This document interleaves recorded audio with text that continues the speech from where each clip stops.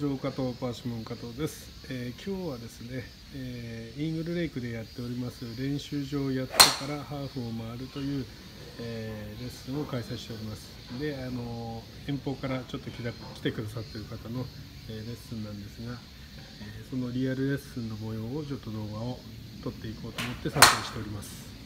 で、えまだ練習始まったばっかりなんですが、えー一発目から、えドライバーを打ってもらっております、えー皆さんもね普通だと練習場行くと、まあ、アプローチからやってアイアンやってドライバーみたいな流れになるかなとは思うんですがコースに行ったらね一発目ドライバーから始まります、まあ、練習する方は練習場で打つのかもしれませんが、えーいきなりドライバーから始まるということが多いのでドライバーから練習するという方法も私は、えーいいと思っております。で、えー今からドライバーのレッスンを始めます。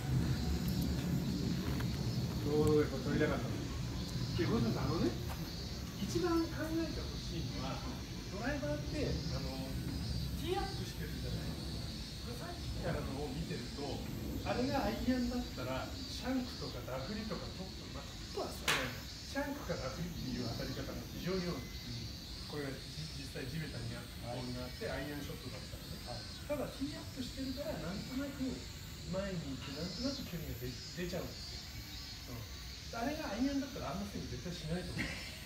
ティーのティーアップをして浮いてるから、いろいろできちゃう。うん、でまあ、レールとしてはやっぱちょっと右出るのが多いじゃないですか。あれってインパクトがどうなってるか自分に分かります。そうね、こうなってるのが多いじゃない。ですか。で、多いのがちょっと上っ面当たるの多いじゃないですか。ティーをバチバチ叩くのが。で基本軌道がちょっと外から来てベースが左とか手が前に出て当たるのが多いんですよ。だこれアイアンだったらシャンクしますああ、そうですね。だからアイアンだったらこうはやってないはずうん、うん、なるほど。そう。でこれティーアップしてるんだけれどもアイアンみたいにちゃんとこのスイートスポットでここの高さ考えてやったらいいからアイアンだったら地べたにボールがあってで構えますで例えばこれがフェアウェイバンカーだったらトあのダンフラーのようにトップしようと思ってこう打つじゃないですかここの高さのイメージってありますよね？ドライバーがそこがちょっとないんですうん。当然そのティーの高さっていう部分もあるんだけどあまり低くはしない方がいい。やっぱベースが上からこうちょっとぶつけるようなスイングになってるんで低くしたらそれ治らないです。から余計悪化させちゃうからどっちかっていうと T アップ高めでちょっとインサイドからちょっとアッパーに打つようなイメージでイメージはつま先上がりの左足上がりでスイングしてるようなイメージで振ってほしい。つま先上がりで左足上がりのイメージでこう振ってほしい今はつま先下がり左足下がりで打ってるような軌道になっちゃってる。でもドライバーはどちらかというとつま先上がり左足上がりの軌道斜面で打つようなイメージで打ってあげるとちょうどインサイドからのアッパーブローになってちょうどいい当たり方になる。もうちょっと高くてもいいです高いの嫌でしょ？嫌でしょ？だからそういうスイングだから。だから今の自分の悪癖を直すのに逆に高いティーで練習したら治るんだよ。あ、そうです。そうだってそれでちゃんと当てようと思ったら今の軌道じゃ当たんないからこっちからなってくる。うんだからこれを今ちょうどまあ3分の1かかるぐらいでしょ、でこれをもう完全にもうヘッドの上に来るぐらいにしちゃうこれこれでティー叩かないでボールだけ打つってたらどうします？これ。ボールの位置とかも変えていいですよ。アドレスもちょっと変えていいからちょっとこれでボールだけ打つにはどうしたらいい？どうやってやります？こっち来ますよね。そっち来るよね。はい。うんこうやんなかったら絶対手叩きますよ。これでティー叩かないようにちょっとやってみて。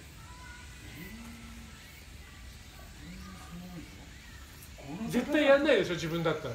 自分で練習したらこんなに絶対やんないでしょ。絶対やんない。当たんないもんね。当たんない。うん。ちょっとやってみて。だうもんね。うん、でそれを天ぷらにならないように練習するのこれ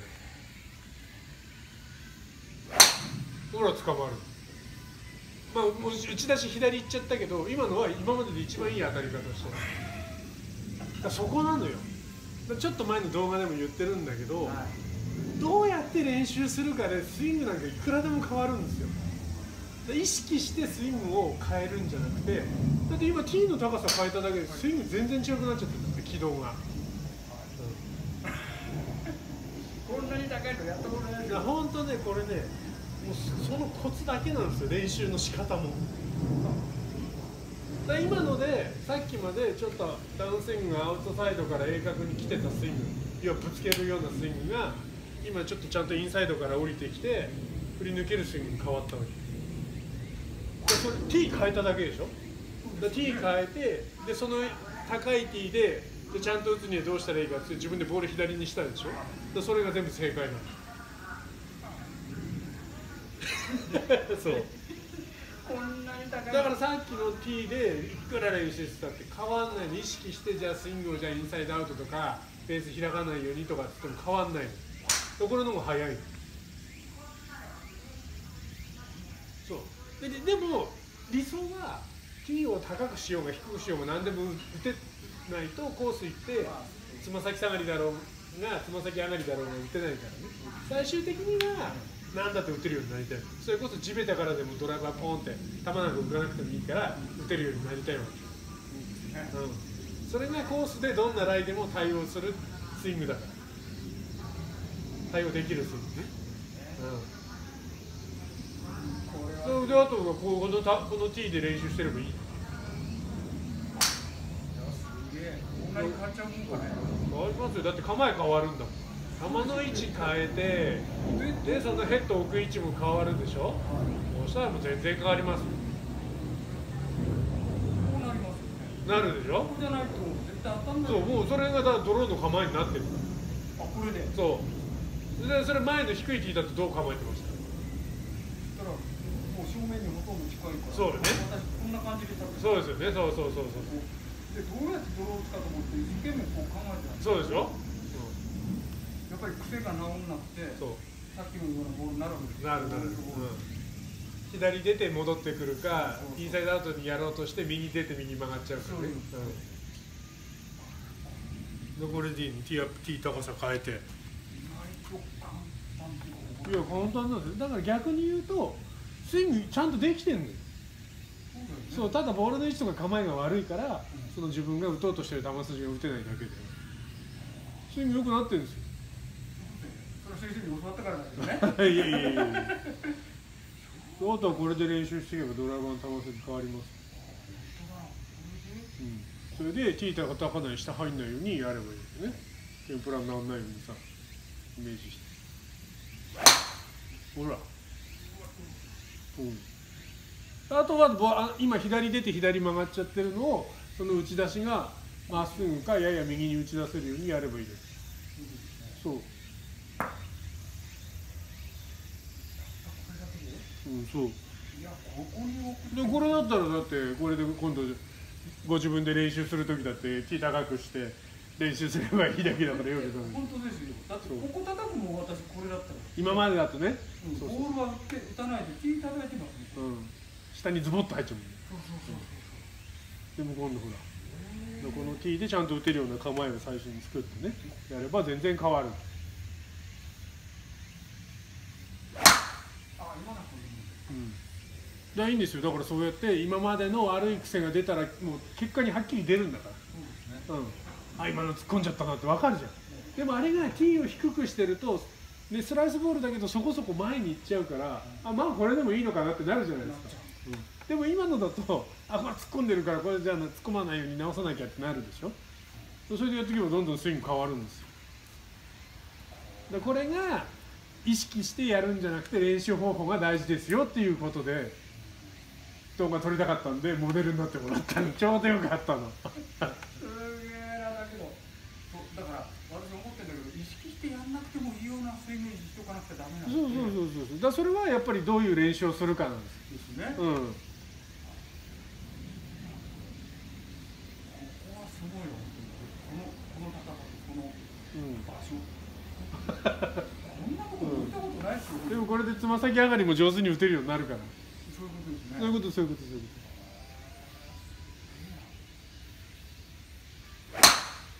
と。こうん。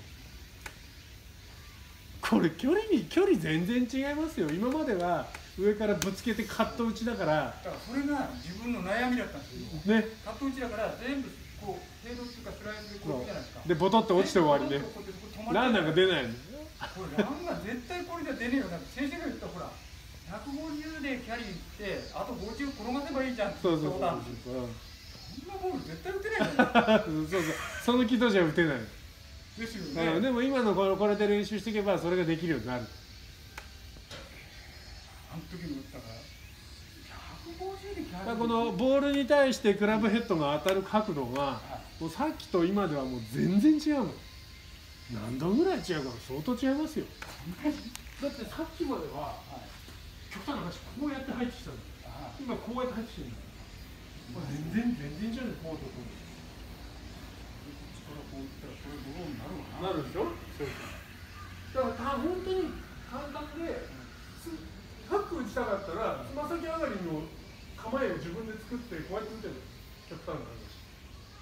でスライス打ちたければつま先下がりの構え作ってこうやって打てば絶対こうスライスになる。なる。なりますよねなる。今まで全部それだったのかもしれない。そうです今までこうてこうだったんでね。うん。どうやっても向こう行くん。ですよこうやってスラうん、うんどうやったら俺はその50ヤードラン出すような。打ち方できるん。だと思う今あのなんかそっちのイメージ湧くでしょ今のこのうんティーにしてボールの位置も変えて、あうん、これだったらこっちの方がいいやね今まではどうしてもその打ち方だから低くしてぶつけて終わりだからね私は低くして、うんこうこうこういうふうに入れていかないと、はい私の打ち方ってダメだってずっと思ってたんで、やたらだから T なんてもうやたら低くしてこうやってうん。でさっきちょっと言ったその転がすようにはい。のが頭にあるんで、余計つのめってっちゃうの転がすようにだと思うと、もうとにかく低くして、はいはいはいはいこうやって打てっていうイメージしかないから、あれ転がドライバーでランが出るように転がすのはぶつけちゃったらボールに対してこういうバックスピンがかかるから転がんないんですよ転がるにはこういう逆の回転になるのでどっちかっていうとボールの右を右の側面をこうこすり上げるような感じの方が球が前に来てるね、そうなん。だだからそう考えるとあのこう T 高くした方がこう横からこう打ちやすいですうん。これだと球がこう前に行くはいはいはい球が前に行くボールって、まあ、どっちかっていうとフック回転のボールですからね、いやーこれはびっくり今までやってること逆やらせなん。でしょ私ちょっとボールの位置変えてねでね。そうそう。で、まあ、あとあとはこれで練習すればどんどん良くなる。そうですよね、はい。これだったらなんか飛びそうな気がする、いやいや、飛びますよ全然変わる。全然変わる。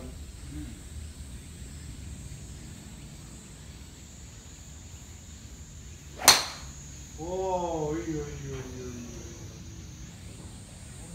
飛ぶよね。これだったら。飛ぶよ飛ぶうん飛ぶ飛ぶ飛びそう飛ぶな気がするもんね。全然飛ぶ今までも絶対こう言ってボトって落っこったらそのままなんですこれアイアンとかウェッジだったらこれでもいいんだろうけどこれじゃ違うだろうなと思これいますだったらね球止まるからね。ねそうですよね。に鳩入ってきたけど巣を作ろうとして。うんそうですね。いやーこれはびっくり。でもいい時に私教わった。自分の中でそれが悩みになってたんですよだから今日ただ先生ほら怪我しねえようにって言うからさあんまり振らないなんて言うんだろうなそうだよこうやってここでうんとこれだと前傾しっぱなしじゃないですか全然スパージでいいよだってだってだってこれでそのままパーンってきてその後顔を入れてそのどこ行ったか見ればいいこれでいいですかいいじゃんなんかなんかねほら先生の一番最初の八時四時の時ってうんこうこう打った時の先生の格好ってかっこいいじゃないですかこうやってなってるいいじゃあそれもこうやってそれも結果でね脱力してる状態でこれも80時言ってんだけど脱力してる状態でクラブ動かすって言ったらこうやって動かさなきゃいけないでしょ体でそう。ですよねそう。うん。でそれをこう打ったらクラブに引っ張られてスッとこうなるんですよ、う。んそれがねちょっと最近やってて連携だけはどうしても私ってこうなってるところだったから、うん。連携だけきちっとま守りたいと思ってこうやろうとした時に、うんこっから先生の思ってるこういうスイングってこれ先に頭がこういっちゃったらずっとこうなっちゃうじゃないですかそうそうそうこれじゃダメでやっぱここはこうやってんだろうけどこそう、うんっからこれどういうふうにしたらだからほら今までのは上からぶつけるスイングだからここで終わっちゃうからそこからはないんですよでも今のこの T, T を高くして今度広がったでしょ、うんそうするとクラブ振り抜けて、今言ったようにここに巻きついてくるから、んここから打つっていう今まではこうだから、えここから先どうすんのって話だけど今はここういう軌道になってもうここに抜けてるからそれが引っ張られてこうやってこうなってフィニッシュになるんです。これで全部つながった。んですいやそれ今日本当聞きたかったよこう怪我しないようにここで前傾でこうやって終わった、うん。さあここから私はどうするんだ。もうこうやって抜けるようになれば絶対勢いでこうやっていっちゃうから打ったらそうフィニッシュ取れちゃう D フィニッシュ。だからもうそういう結果なんです、うん、だからフィニッシュばっかり作ろう作ろうったってそんなもん絶対できない。できないですよ。ね先生多分あんまり無理して自分でこんなことやらなくたってそうそうここから脱力してればなんかそれらしいスイングになってるみたいなイメージだったからああんまり考えなくていいのかなってここだけ、うん。ここのとこだけきちっとこう80だから全部ちゃんとそっちのあの悪い方は悪い方で連動してたんだよね。どこうやってるとここからえ俺どうどうすんだここから。そうだ。でこれやると余計こうなっちゃうんですよ。あとは自分で取ってくっつけて持ってくしかないもんね。やろうとわざわざわざわざねここまで来たんだけどなんかかっこ悪いからここからこうやって なんかやるじゃないですか。ああそれ違うやつ前教わった時先生がこうでもこれこうやって振ってればここからぐーって自分ではできなかったけどうん。なんかぐーっていうイメージが今のはそうなってたよ火上げてからのやつは。最初のはパチッパチッって上からぶつけてるやつはねなってなかったけど今日はもうこれ覚えてだけ覚えただけでもすごいですよ私も。全然これで変わる。変わると思うよ。これであれだよもういよいよ80代見えてるで距離がとにかく転がるっていうイメージができただけでうんねそれ。だけで違うと思うんですほらいい球だよ全然違うじゃんほらこの前行ってるね。うん。いい。すごくいいこの発想ないですもん自分の中で。とにかく T は低くしなさい。しかないんだから私の中ではでもやっ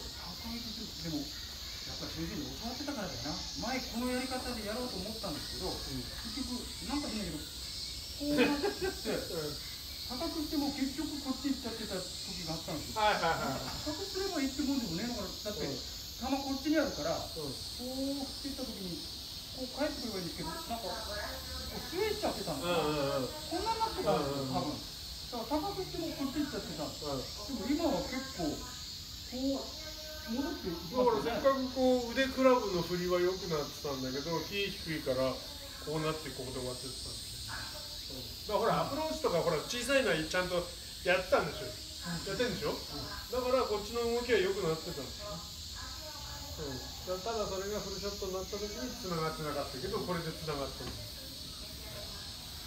れはすげえ井上先生これよかったよかった50転がるかもしれない50転がる50転がるの打てるようになるねえ、だって前打った時絶対50なんか転がんなかった止まるわけないでしょうね怒ってくるんだもんおおいい球だ。すごいや。いいドロー。ねうん、全然変わった。あもう当たり方全然違うもんね。そう今フィニッシュ取るってそうですよね別に無理してやってないいじゃな取取ってくっつけたようなフィニッシュじゃなくてちゃんとできてます。ですねうん。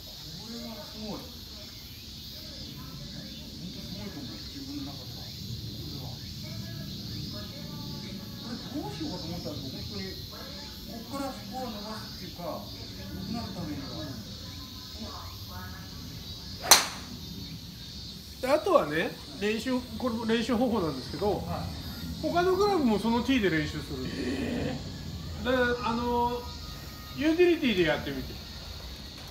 練習ですよねあくまでねこれ本番でそうそうそうそう。でもほらそれやっとけばつま先上がりでも打てるようになる。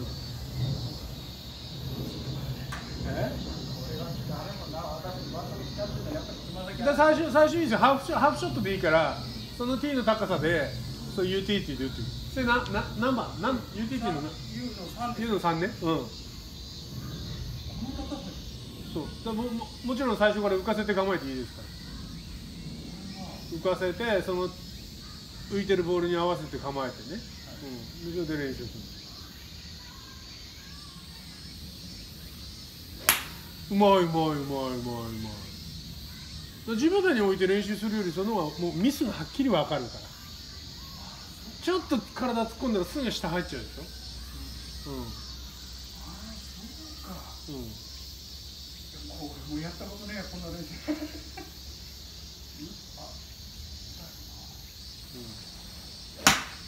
はい突っ込ん。だこれもこれもつま先上がりだったらズボって大ダフリだねそうですねうん、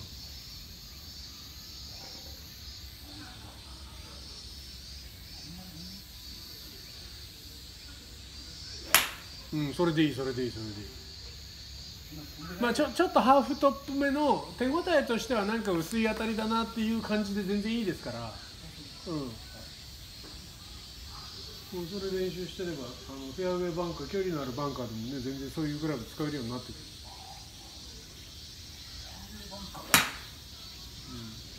うん、ちょっとキー叩いたね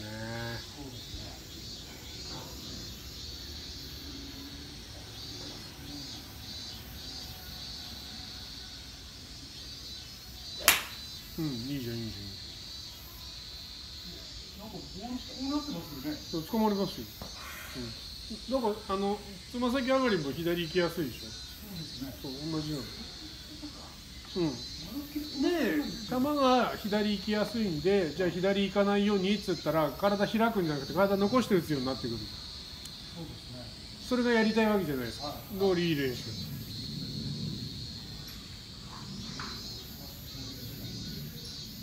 分でやってるとこういう発想ないですね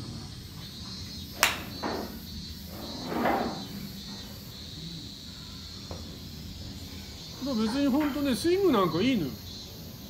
そんななんか極端になんかここ直せここ直せじゃなくてこういうあとはこういう練習をしてこう自分のまだもちろん無駄はあるんでそれを意識してその無駄を省くんじゃなくてこういう練習をすることによってそんな無駄がもうどんどん削ぎ落とされていくから。そしたらもうそれはもうご自分に合ったいいスイングが出来上がってくるんでもうね本当もう練習方法で全然変わっちゃうから。そういうことですね。は